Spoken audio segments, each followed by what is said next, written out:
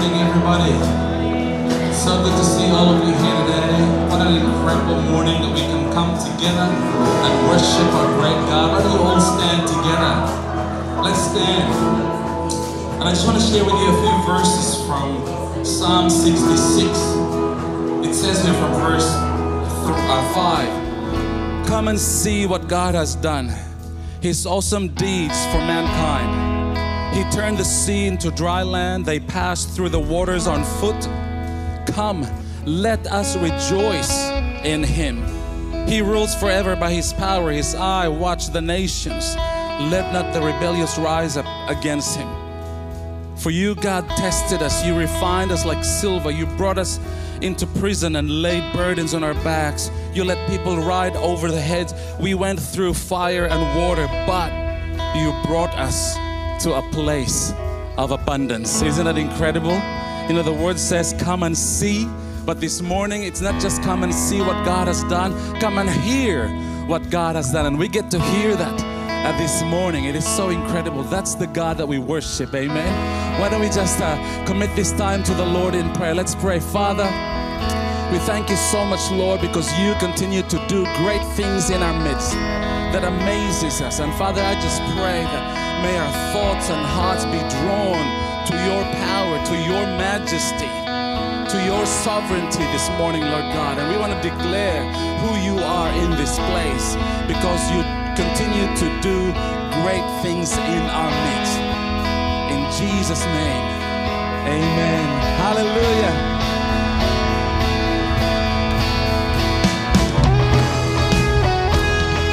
Feel free to clap your hands, everybody.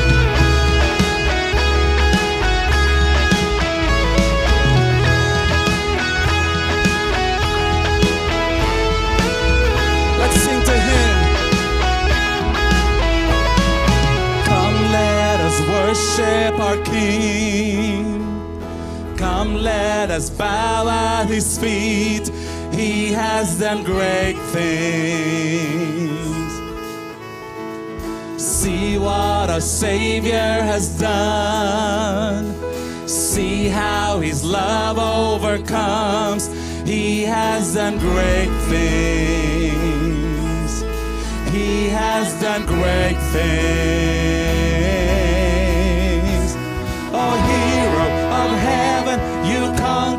The grave. You free every captive and break every chain, oh God. You have done great things. We dance in your freedom, awake and alive. Oh Jesus, our Savior, your name lifted high, oh God. You have done great things.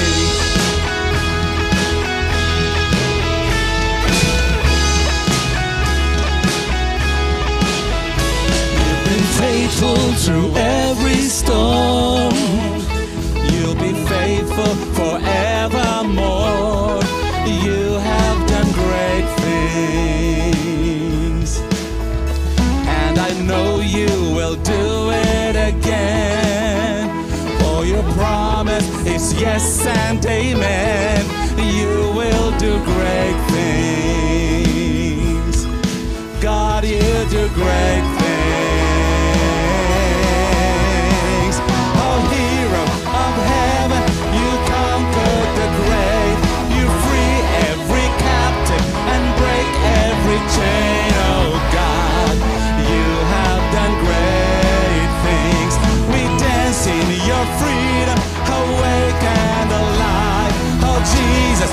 Savior, your name lifted high.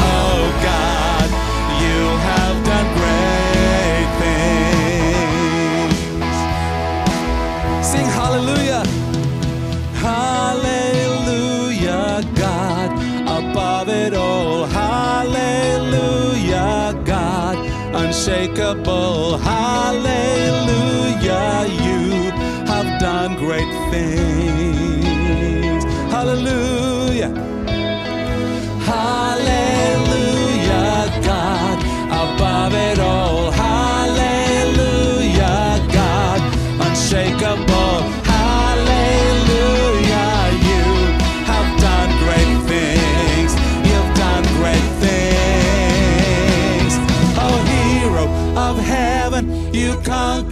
The grave. You free every captive and break every chain, oh God. You have done great things. We dance in your freedom, awake and alive. Oh Jesus, our Savior, your name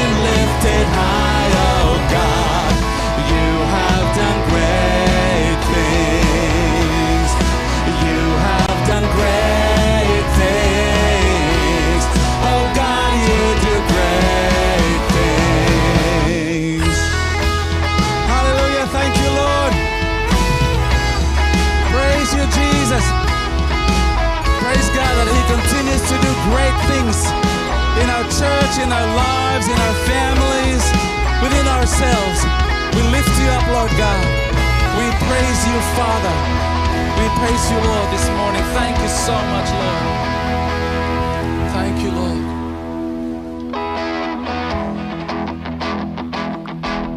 Let's continue to worship the Lord this morning. Come on, lift up your voice.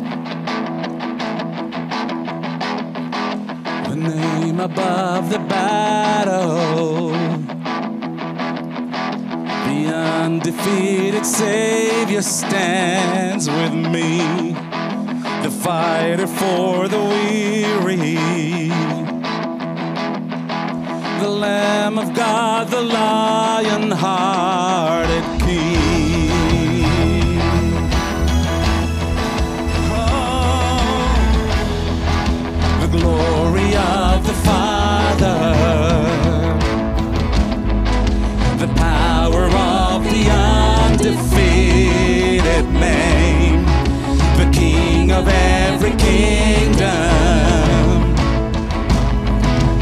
champion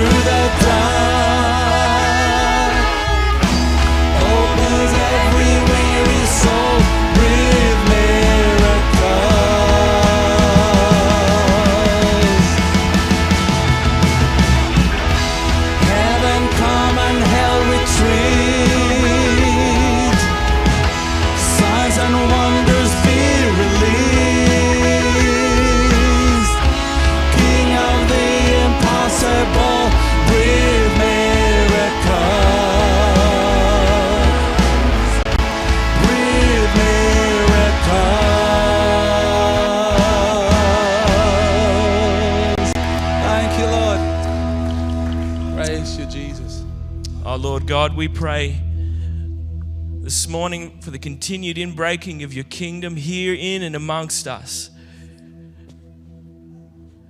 How grateful we are to know that you are the King and that you are still at work, still changing people's lives, still bringing your reign of peace, life, and how desperately we want to be a part of it, Jesus, and how desperately we need you to continue to break the kingdom into our lives. Yes. That more and more you might lead us into a fullness of life. And yet, each and every one of us have people in our lives that we deeply love and care for who do not know you and do not know that peace, that life. And so, right now, every face, every name that comes to mind, we just lift those up before you. And we continue to pray, Jesus, that you would draw them to yourself by your Spirit. Humbly, Jesus, we pray that you would use us as your hands and feet in that circumstance in their lives. And we pray, Jesus, that we would be ambassadors, and we would shine because of you in us, not just by what we do, but because of who we are. Now, this we pray for. Jesus. We'd love to see our community, our city changed in the name of Jesus, mm. Yes, Lord. Flourishing in the life that you have for it. And so we continue to pray, Jesus, humbly, but also incredibly boldly because we know it's your heart. We pray powerfully in the name of Jesus, would you come? This we ask for in the precious name of Jesus. Amen. Amen. Before you take a seat, why don't you turn around to the people in and around your vicinity and just welcome them this morning?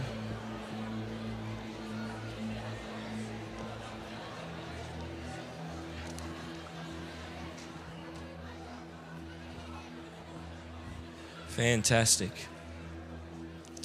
Well, good morning, everyone, and welcome to church. A special welcome to any visitors that we have with us as well.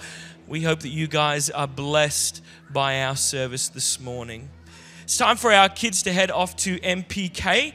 May you guys have an amazing morning as you have a look at what it means to be known by God. That's what you're looking at this morning. Known by God. May you get a sense of the value and the worth that He places on each and every one of you. We love kids in this place, so may you be blessed this morning. For everybody else, our encouragement to you is stick around after the service. The cafe is open before the 8:30 service and then in between the 8:30 and 10:30 services. There's also coffee available in the foyer and all of that is just an excuse for us to connect with one another and be family and just spend some time together as family. So please don't rush off after the service. If you are new, and you want to chat to someone about connecting in here at Mount Pleasant Baptist Church at a deeper level, then please make your way to the connect point after the service. There's some beautiful people who would love to help you do just that. Well, why don't we pray before we take some time to give together this morning? So, would you bow your heads to me? Let's pray. Father, we thank you for who you are.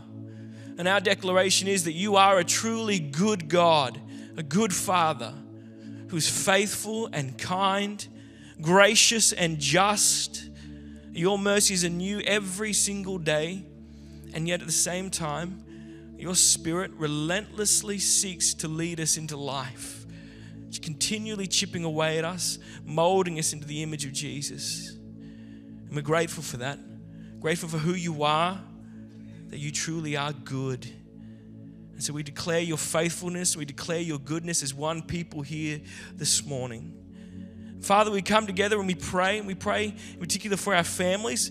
Kids have just returned to school. So we pray a blessing upon our families in the midst of the busyness of the term that's just started. Father, we pray that in the midst of all of that, everything going on in their lives, in the midst of that business, continu- continual pressures of family life, Father, I pray that they would discover and guard healthy rhythms of grace. Times where they can connect with you as a family, times when they can spend wonderful quality time together as a family. May you be at the center of everything they do, and may you bless them because of that. We've got a number of people as well, unwell as well, Lord, and so we want to uphold them. And so, Father, for those who are sick, for those who are battling illness and disease, Lord Jesus, we pray for healing. And that's not an empty prayer. We come in the power of the name of Jesus and we pray for healing. We pray that you would restore them, Father, and sustain them in the midst of what is a really difficult journey. Father, for those who are recovering from surgery, we pray also, Lord, that you would guard them and protect them, Father. We pray against any infection or any complications post surgery. Father, we pray once again that you would strengthen them their recovery process would be smooth, speedy, and that we might see them here once again, Father, because you've had your hand upon them, watched over them in the midst of their recovery. And so we pray over those, Father, recovering from surgery. Think of Helen Burback, Max Wishaw, and Ian Riggs in particular, Lord. We just lift them up before you. We continue to pray, Father, for us as a people as well, that we would embrace the idea of people of peace. But that we would have eyes to see those in and around us who are hungry, who are searching, who are longing for the light. Father, we pray that you would give us a heart, a deep love for those around us, and a deep love for those who do not yet know you. And we pray also, along with that, the courage to step out in faith and to be who you've called us to be. May we truly be your ambassadors, messengers of hope more and more, Father, we pray that you would sow that into us as a people. Last, but certainly not least, Lord, we pray for our offering this morning. We see the needs in our community and we give because we want to meet those needs, but we also give, Father, as an act of love and worship. This is not something that we have to do, this is something that we love to do, an absolute privilege for us to participate in the things of the kingdom. And so we pray, Jesus, that you would bless all that is given this morning. And may you be honored because it is an act of love and worship. This we pray for in the precious name of Jesus. Amen. Why don't we give together? You'll see the green buckets on the end of the aisles. It's pretty simple. Just pass it along. And the ushers will collect them on the end of the aisle. Let's give together.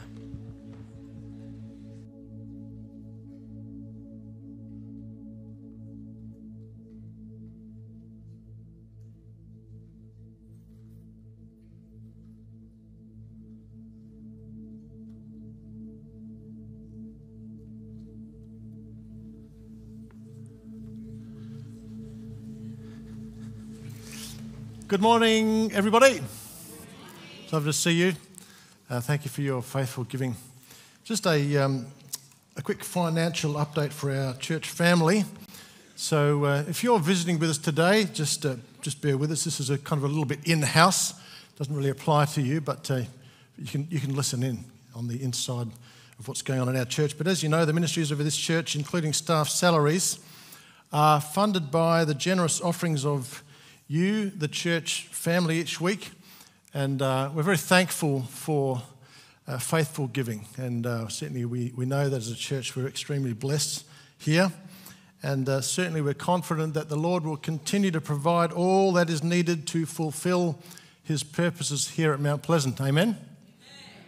However, having said that, uh, at the halfway mark of this calendar year, uh, as you can see from that graph up there, we're about $85,000 below budget year to date.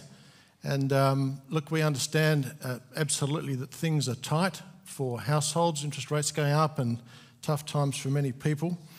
And so, um, here at the church as well, we've been doing all that we can to uh, reduce our costs as far as possible. But uh, just need to let you know that if our regular giving continues to be below budget for the second half of the year, then uh, we're going to need to do take some more drastic measures, which uh, will involve cutting back on things like salaries. So as you can see, there's a bit of self-interest in this announcement uh, from me. Uh, things like our missional giving. We don't want to do that. We don't want to pull back on those things.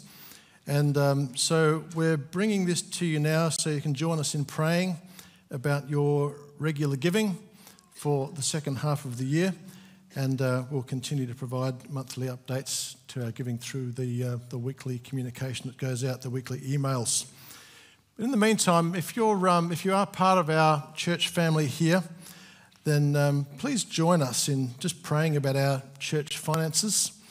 Um, pray about your giving and uh, pray for those who are sort of administering the finances at board level, at leadership level as well. We need God's wisdom in being good stewards of what God provides. And uh, we've certainly been here before, by the way, many times, many times over the years. And uh, time after time in my history here in this church, and uh, even prior to that, we've seen God's wonderful provision. Uh, he's always provided all that we need. And um, we depend on Him together, actually. We depend on Him for all things. Um, one of the key verses of my life is Philippians 4:19. I've known it to be true in my own experience. My God shall provide all your needs. It's a word the Lord gave me many years ago for my own personal life. My God shall provide your, all your needs according to his glorious riches in Christ Jesus. So we trust him. Uh, but um, let's, uh, let's come to him now. Let me lead you in prayer uh, for our financial situation.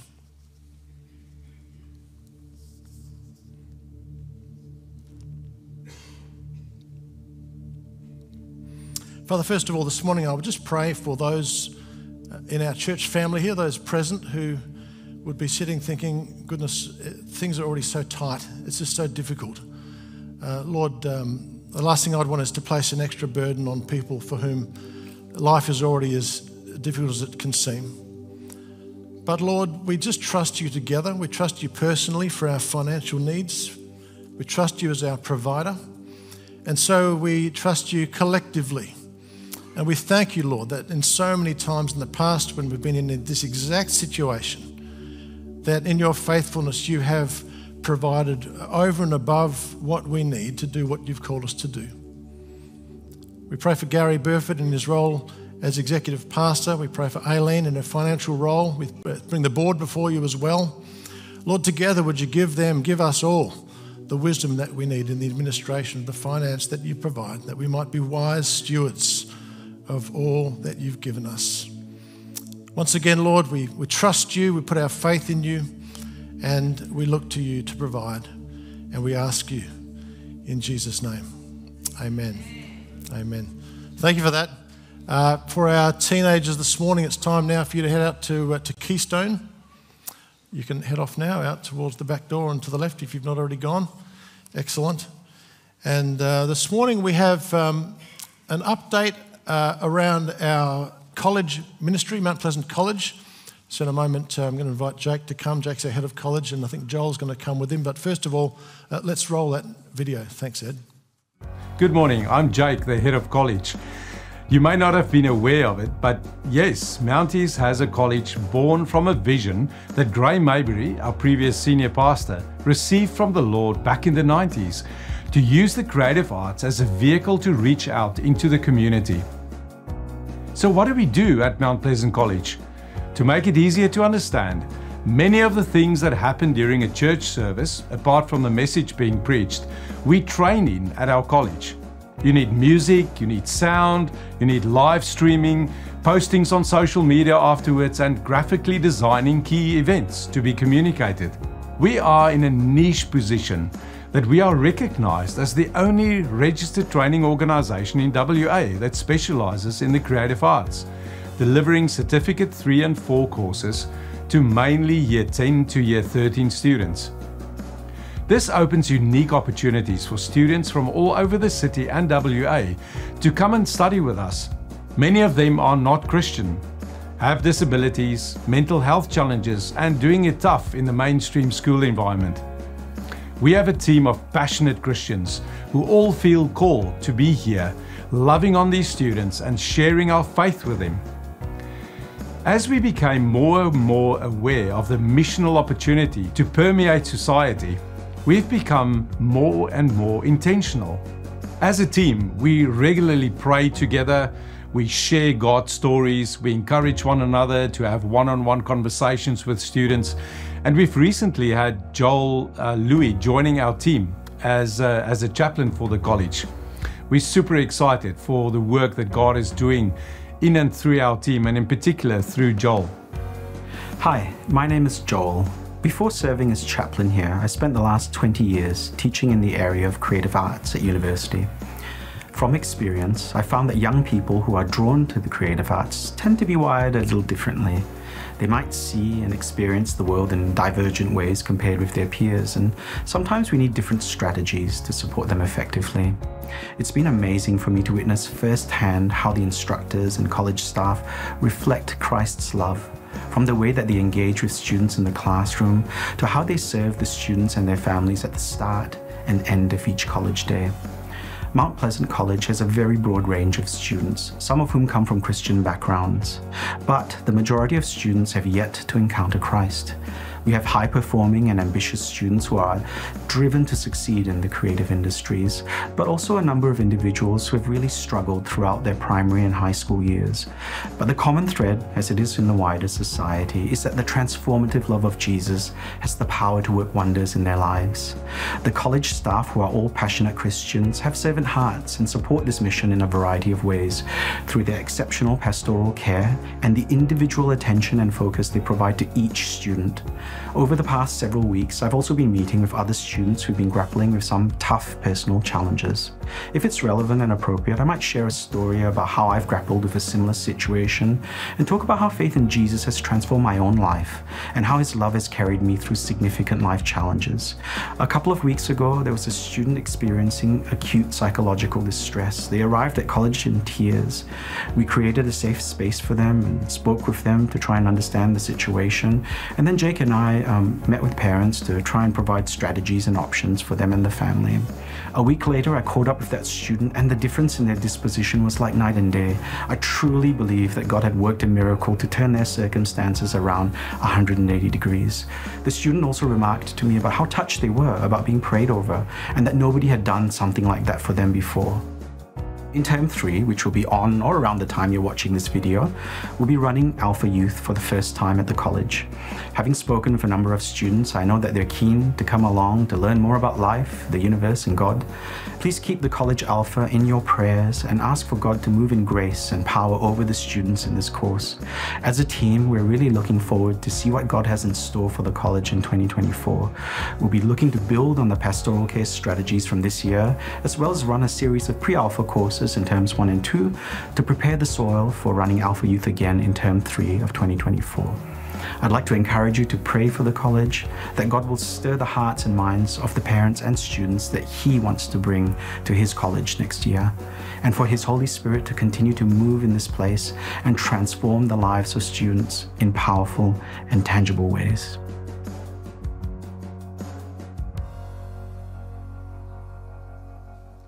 Good morning, church.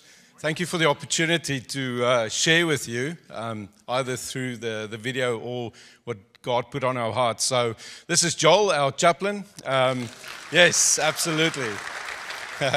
we, uh, I'm sure you've seen through the video what an absolute blessing it is to, to the college and to the students as well.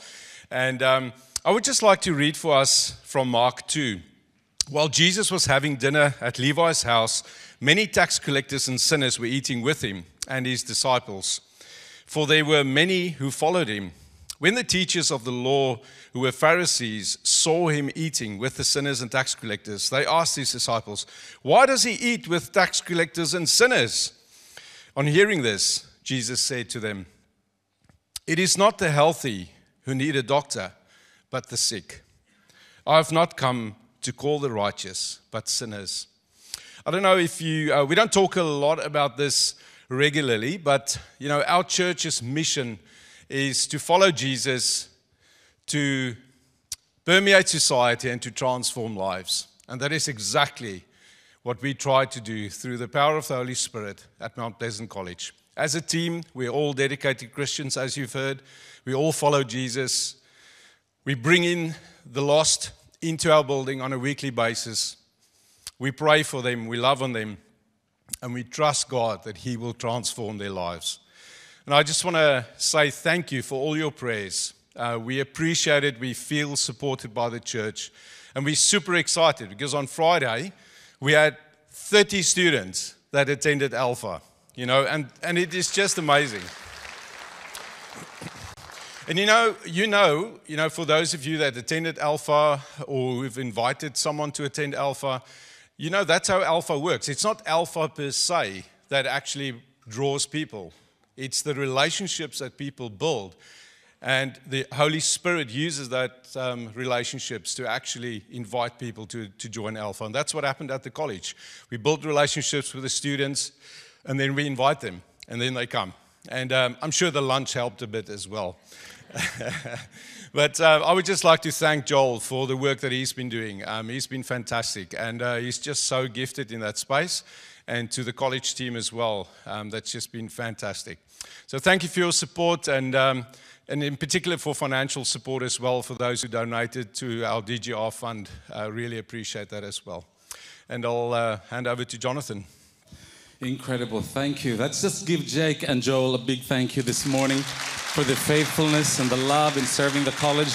We have about over 140 students this year, so it's, that's a dramatic increase in our college. It's, it's fantastic and it's so exciting what God is doing. And I said, as I said to you earlier in the service when I opened it in call to worship, that we, that we just don't get to see what God's doing. We get to hear what God is doing, and that is incredible. So, why don't we just pray for the college and for Jake and Joel this morning? Let us pray. Our gracious and loving Father, we thank you so much, Lord, for inviting us to be part of what you are doing in our city and in this world. We thank you for our college, Lord.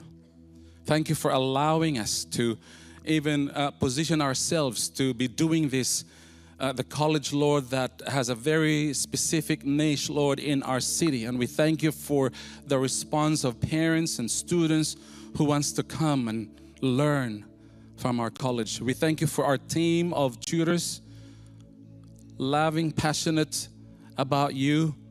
Father, we thank you for each one of them. May you bless them, Lord, as they engage and as they teach and share their knowledge and their expertise to the students. I pray, Lord God, that each student, as they come to our building, that they will have a sense of belonging and acceptance and an embrace that comes from you. And Lord, we thank you for the opportunity that you have opened for us to run Alpha at the college. Thank you for Joel and the team of volunteers. Thank you for the students that have responded. Father, we want to pray specifically, Lord, for this ministry that you will reveal yourself to these students, Lord, each week as they learn more about you, as they learn more about their purpose. Father, I pray that may the Holy Spirit reveal Himself to each one of them. We ask for your protection, Lord God, for all the students. And Lord, we just pray, Lord God, that uh, at the end of this Alpha course, Lord, that there will be a harvest of souls and people coming to know Jesus. And Lord, we pray for Jake and the team that you will empower him, that you'll anoint him, that you will strengthen him. Give him extra measure of energy, Lord God, as he provides oversight and leadership of our college. We thank you for this missional opportunity. In Jesus' precious name we pray. Amen. Amen. Let's give them a, one more well, thank you. Wonderful. Wow, incredible. Let's all stand together as we continue to worship the Lord. And as I was reflecting on these next two songs that we're about to sing, it really kind of drew me to two scenarios. One was at the cross, which was a very public display of God's love and demonstration of His love when Jesus was crucified. And yet, something very private was happening almost at the same time at the temple. And the Gospels describes it like the curtain at the temple was stripped in half. And it's the kind of curtain that no human hands can just rip and tear. And yet the hand of God stripped it open. And what we see and know is that God is inviting us, that no longer just the high priest to come into this holy place, but we have all been invited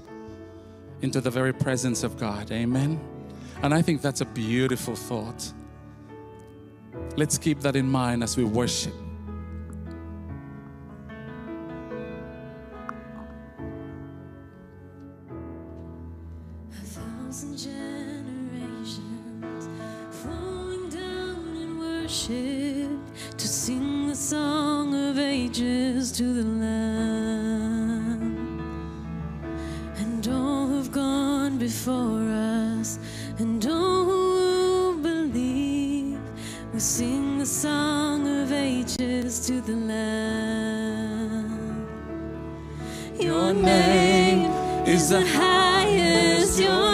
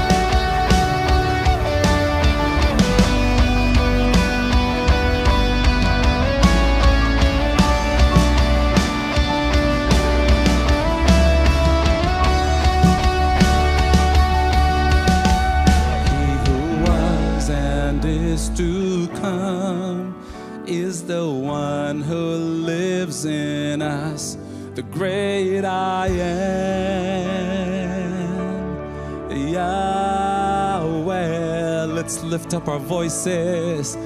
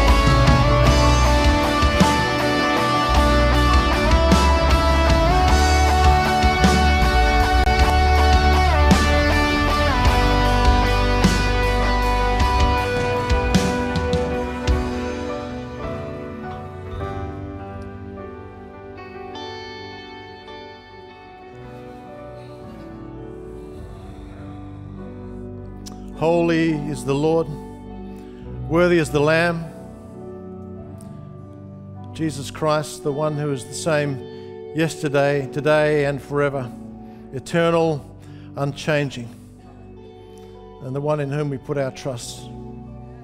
Lord, we thank you. We thank you for your presence with us. We thank you for our church family. We praise you, Lord, for every person who calls this place home, for the children in MPK, for the teenagers at, at Keystone, for the elderly folk, Lord, who are joining us online, for those who are gathered here this morning. We gather, Lord, as your people. We pray, Lord, you'd give us uh, an increased hunger for you, a hunger for your word. Do a deeper work in us, draw us deeper into yourself, and teach us this morning, Lord, more about what it means to walk in step with your spirit in those unforced rhythms of grace. Guide us and teach us, we pray, in Jesus' name. Amen. Amen. Thank you. Please be seated. Thank you again to our team. And uh, yes, good morning.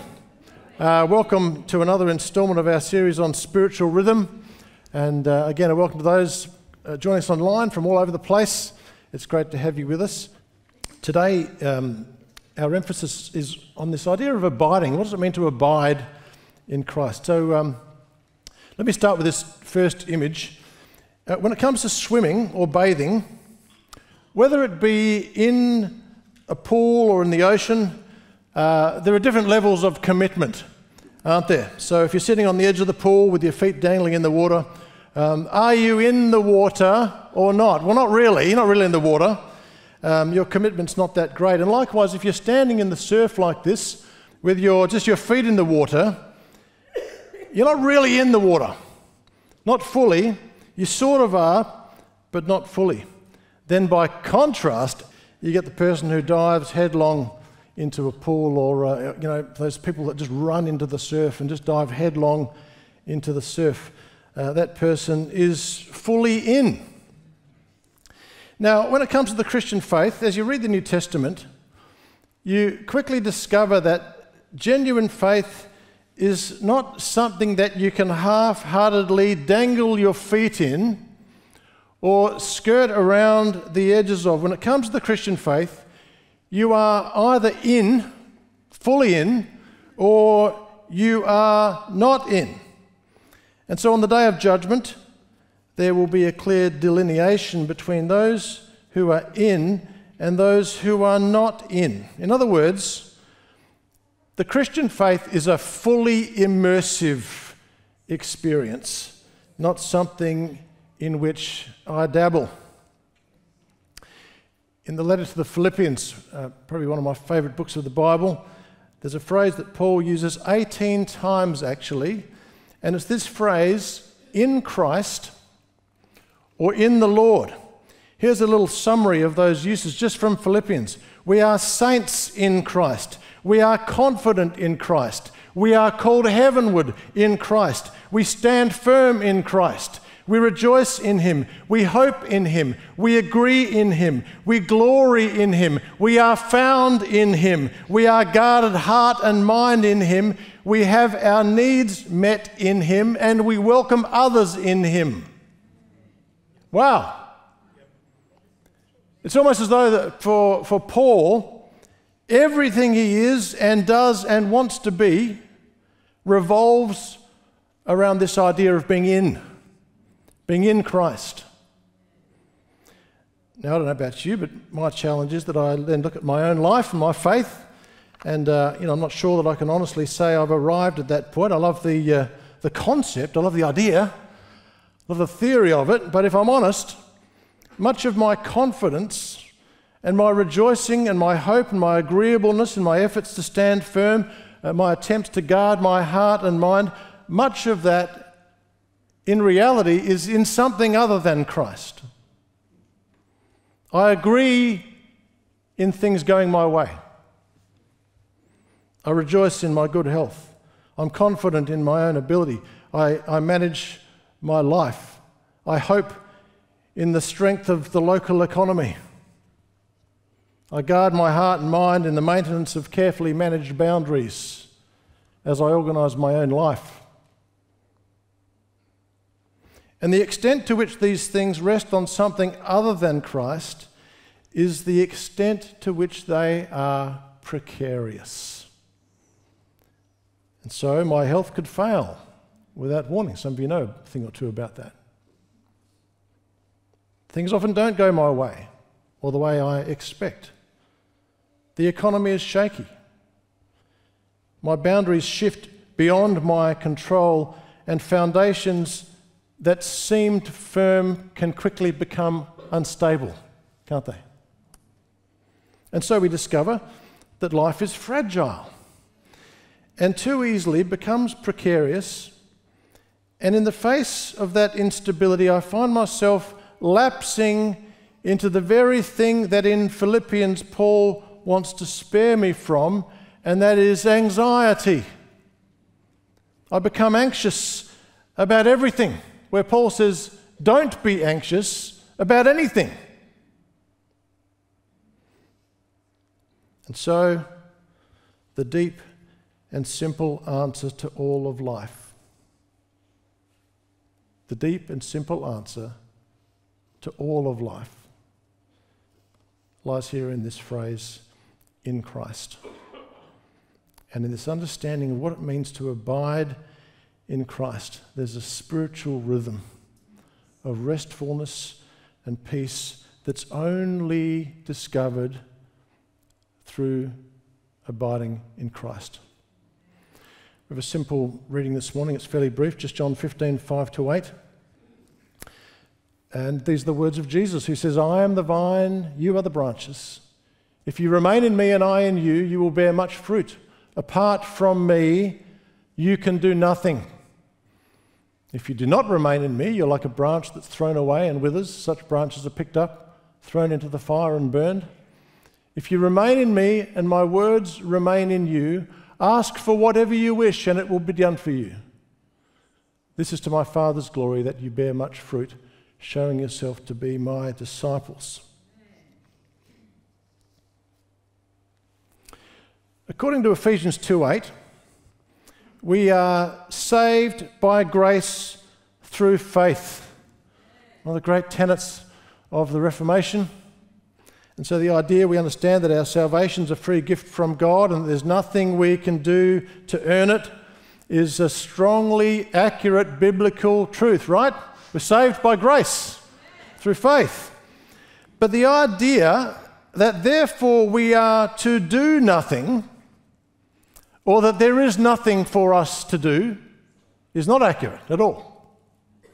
We're not contributors towards our salvation, but in a very real sense, we are certainly active participators in it. And so the New Testament knows nothing of a faith that is inactive. It's only active faith that bears good fruit, fruit that lasts, and that good fruit is found only through our abiding in Christ or life in the Spirit that involves alignment of my thoughts and my words and my actions with the heart of Jesus. And it's that alignment, that degree to which I'm living, remaining, and abiding in Christ that produces fruit. The fruit of the Spirit, another fruit, fruit that lasts. So this morning I'm going to just share with you three characteristics of a life lived abiding in Christ. And uh, the first of those is what I've labelled as tenacious dependence.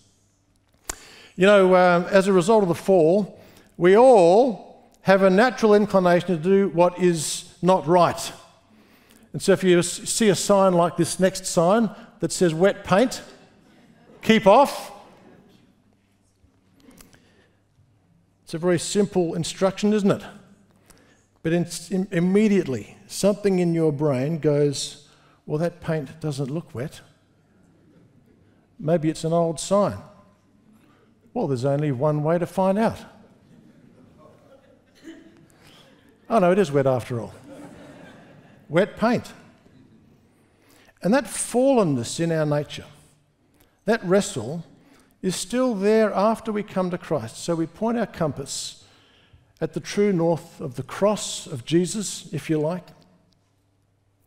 But then, if we're not tenacious in our dependence upon Him, left to our own devices, we begin to drift away from that true north. There's a natural drift away towards things that are not right. We drift in ungodly directions. Uh, in the news this week was the story of uh, the Australian fisherman Tim Shaddock. I think we've got a picture of him there with his dog Bella. Not sure if you picked up this story, but they were picked up off the coast of Mexico after two months, two months, if you don't mind, adrift in the Pacific Ocean. So they set sail from Mexico to French Polynesia in April, but then a few weeks into the journey, a bad storm destroyed their electronic navigation system. And so they'd, had, they'd set their course, but they lost their navigation system. And so uh, this guy and Bella the dog, they began to drift. And before they knew it, they were lost actually. They were just adrift, lost at sea. And uh, very lucky actually to be spotted by a local helicopter. But it's a picture of what happens to so many people in life. See, not only do we have this natural tendency to drift off that center of Christ, but we also face various severe storms of life that threaten to throw us off course altogether. So you can be cruising along quite comfortably and faithfully in your walk with God, but then along comes a storm in the form of the death of a loved one or a, a serious health, like cancer diagnosis, or a relational breakdown, or some kind of crisis in your family or in your life, and then all of a sudden your navigational system has been destroyed, and this is what you discover disappointment produces drift. And so people become disappointed in God, actually. And then they find that they just begin to drift. And life begins to drift off that, that center of Jesus and the cross of Christ. And before you know it, you're completely adrift and lost at sea. See, what the storm reveals is the degree to which my faith is in Christ which is an unshakable foundation, right? Unshakable. If I'm truly in Christ and my faith is truly in Christ, that is an unshakable foundation. It's the same yesterday, today, and forever. Eternally unshakable. Or I discover that actually my faith is in something else. My faith is in things going my way. My faith is in a favorable outcome to my prayer. Lord, you do this for me, then I'll trust in you. If you don't do this, well, I'm not sure if I can trust you anymore. Those are unstable, shaky foundations that are quickly destroyed by a storm. And suddenly we find ourselves apart from Christ. And Jesus says, Apart from me, you can do nothing. By contrast, Paul says, I can do all things in Christ who gives me strength. In Christ, I can face all sorts of hardships and challenges and storms and even bear fruit as a result of them. That's a miracle. And so, I need to nurture this tenacious dependence upon Him in all the seasons of life. The first key characteristic of a life lived abiding in Christ.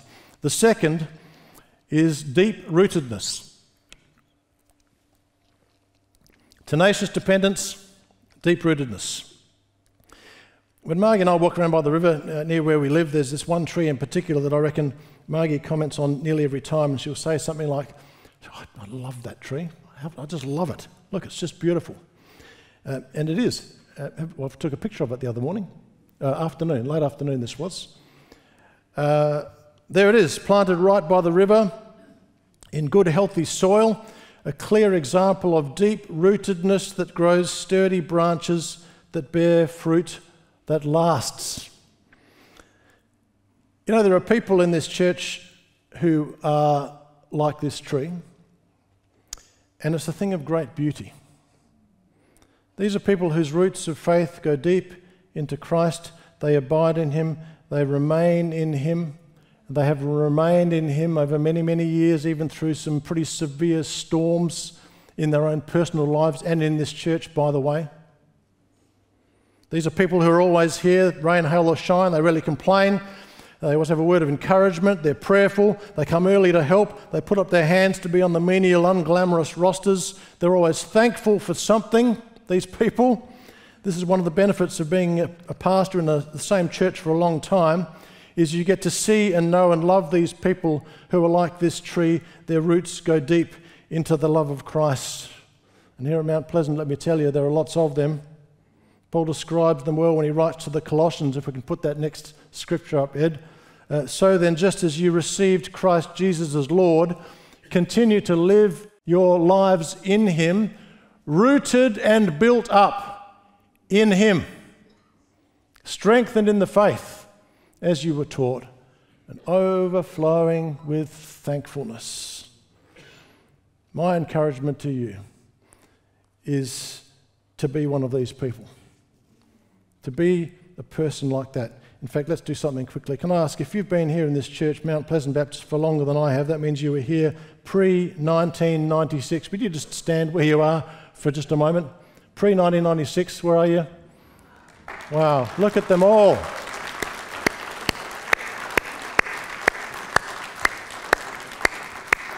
Just remain standing. I know you don't want to. Remain standing, but let me tell you deep rootedness grows sturdy branches that bear fruit that lasts.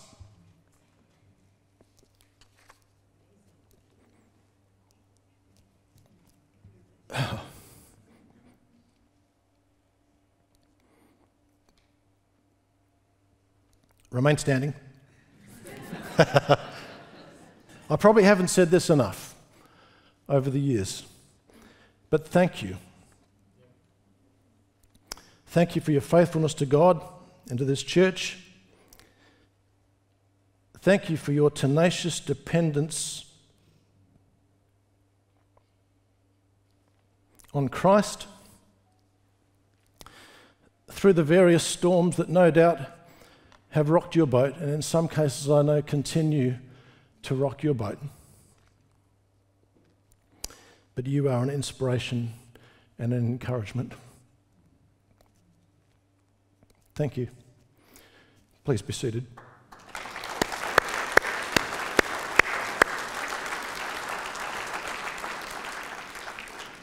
Tenacious dependence, deep rootedness.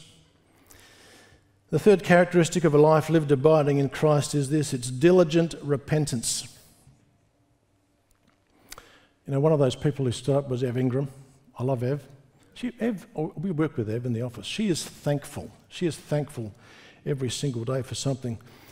Now, Ev's husband, Vern, was um, always very kind to me. We had a great friendship back in the days before he went to be with the Lord.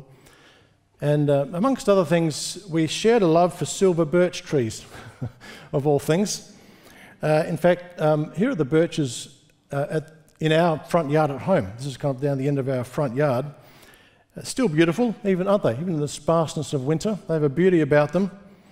Well, Vern's garden was far more established than ours, but Vern used to lament with me at the way his silver birches would reach a certain, of, certain level of maturity and then they would die mysteriously. And Vern's theory, which I've never discovered whether it was true or not, but Vern's theory was that over time their roots would hit a layer of salinity that would kill them. They'd sink their roots into something that wasn't actually helpful for them, which would then draw up those nutrients, or in this case, the salt, which would kill the tree. Well, that theory got me thinking about a spiritual parallel. You know, as followers of Jesus, we are, we're in Christ. Christ dwells in our hearts through faith, faith, and we are rooted and established in the love of Christ. That's the idea. Uh, that's uh, that beautiful verse in Ephesians 3 rooted and established in the love of Christ. So we need to be careful, don't we, in an ongoing way as we devote ourselves to abiding in Christ, that we're not sinking any of our roots into anything harmful. And where we do recognize that harmful salinity creeping into our system, and you'll feel it in your spirit.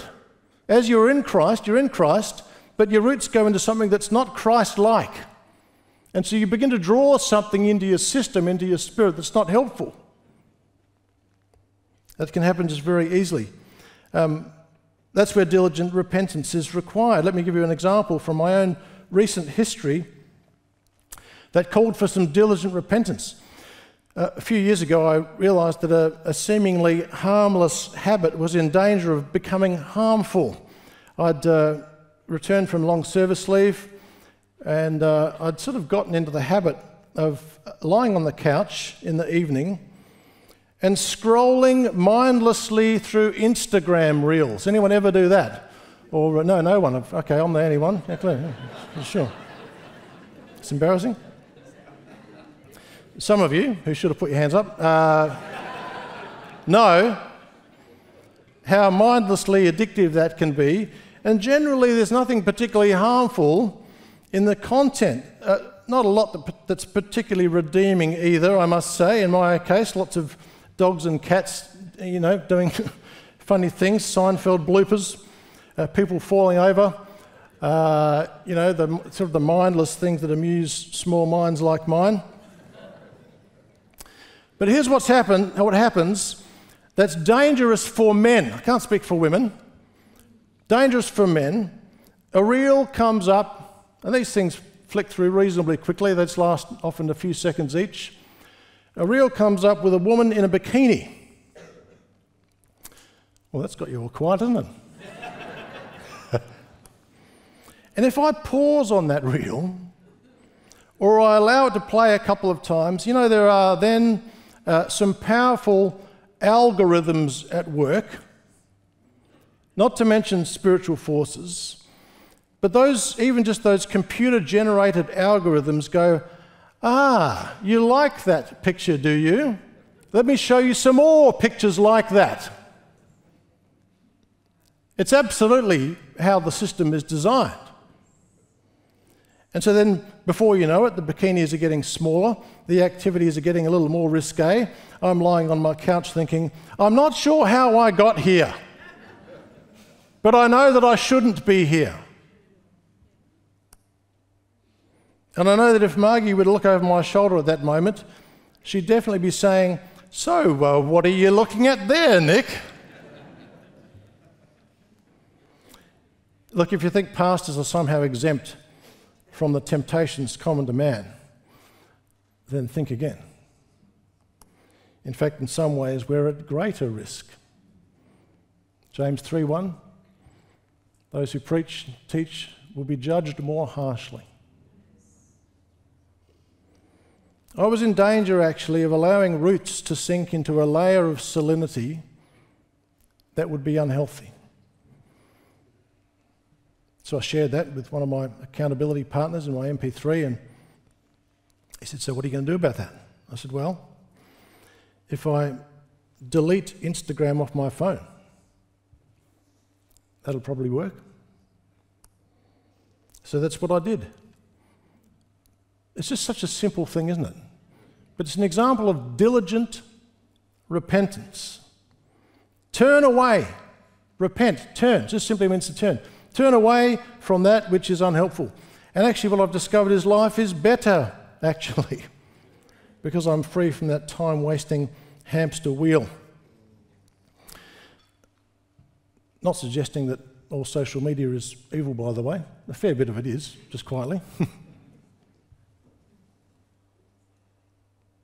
Repentance is a wonderful gift. It means you can change. It means that you're not stuck.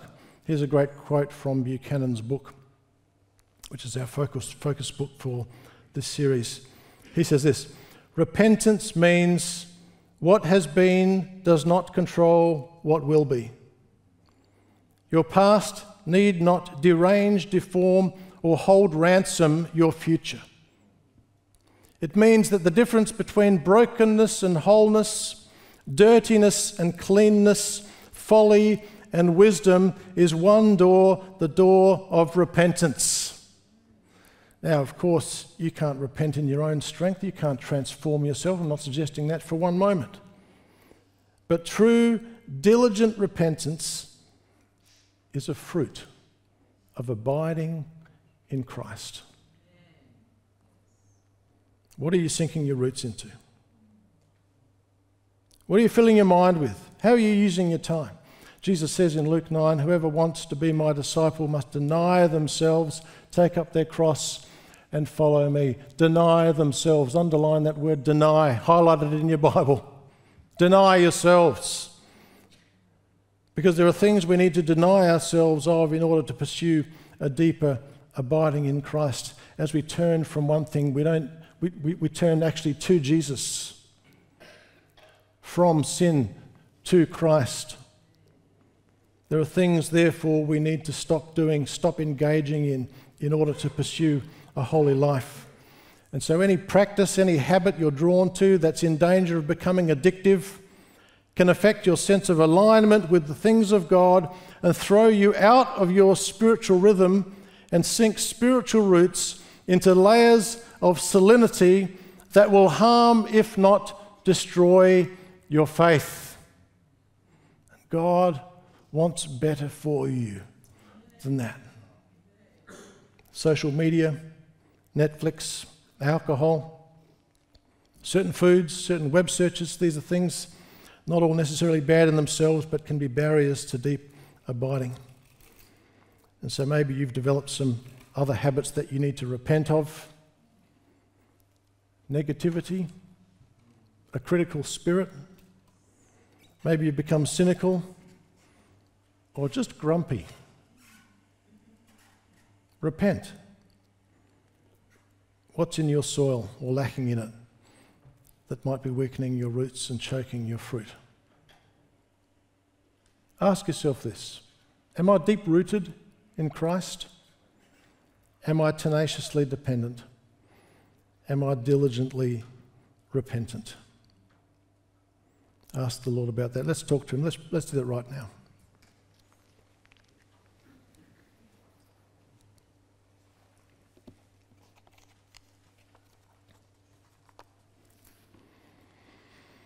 Lord Jesus, we recognize that truth here in John 15 that apart from you, we can do nothing. We read the truth in Philippians 4 that Paul says, In Christ I can do all things. Nothing is impossible for those who are in Christ. And so, Lord, we pray that you would teach us this morning more of what it means to abide in Christ, to abide in you to rid our lives of those things that are unhelpful, those things we would, in many cases this morning, be sinking our roots into that actually we know are drawing on a salinity that will destroy the tree. Again, Lord, we thank you for those folk here who, through standing, have demonstrated that they've been faithful to you over many, many years. Others, Lord, who've um, circumstances have taken them in different places, but also have walked with you for many, many years. Keep us faithful, Lord. Keep us diligent. Keep us tenacious in our dependence. And teach us, Lord, we pray, what it means to abide in you. We thank you, Lord, that there is no condemnation for those who are in Christ, but that you give us that gift of repentance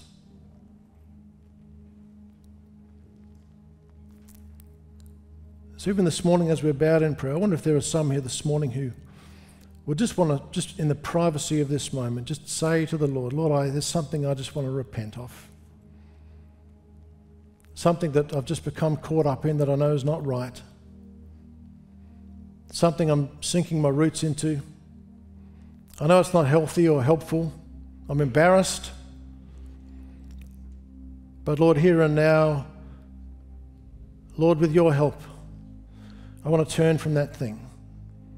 I want to repent of it and I want to turn towards you and learn more of what it means to walk in step with your Spirit. Teach me, Lord, the unforced rhythms of your grace.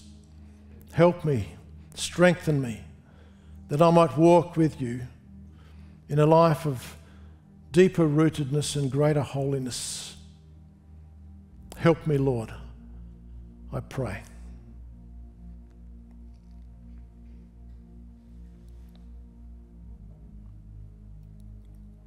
Lord, thank you that you hear us as we pray. We thank you that you empower us by your Holy Spirit, that you walk with us. For these things, we are deeply thankful. And we give thanks in the name of Jesus. Amen.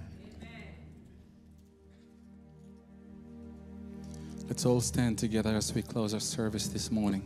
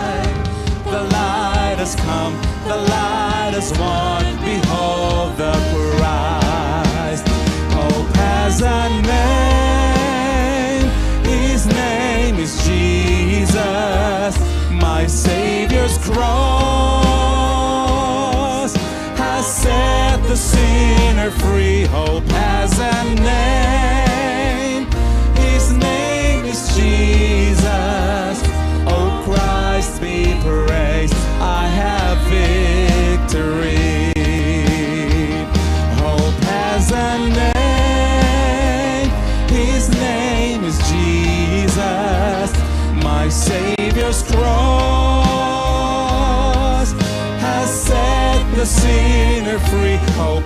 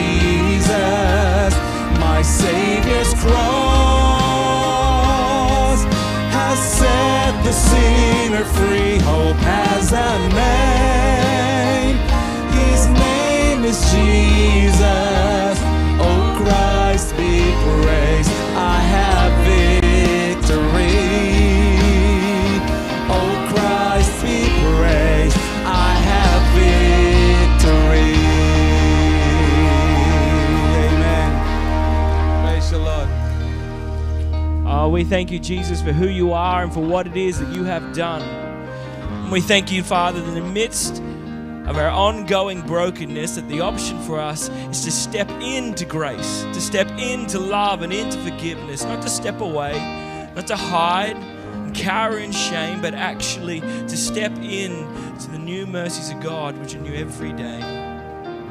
Thank you, Jesus.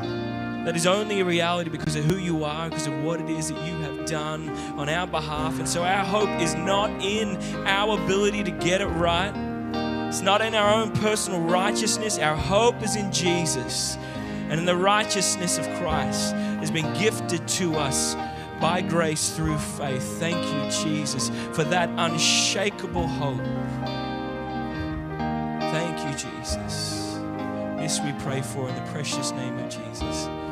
Amen. Amen. Well, such a blessing to have you guys with us here this morning. Next week, Graham Mabry is going to continue on in our series with the title Sustaining. A couple other things. We've got Dan Paterson coming in a couple of weeks, which is very exciting for us. So he's going to be speaking here on Sunday morning, the 6th of August. He's got a whole week of ministry on the Thursday and Friday. He's doing a masterclass for school kids here at church.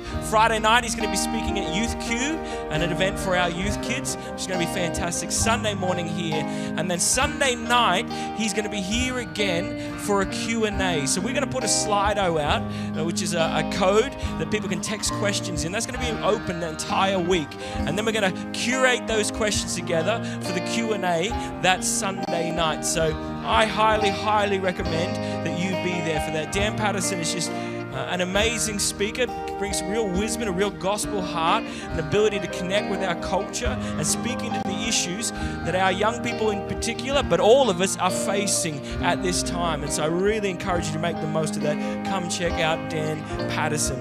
Today is also the closing of our Indigenous Art exhibition, which means this is your last chance to check out the exhibition and purchase any art that you may want. And we do encourage you to do that. Be blessed. Have a wonderful, wonderful week. If you need prayer for anything, please come on down or tap the person on the shoulder next to you. But be blessed and have a great.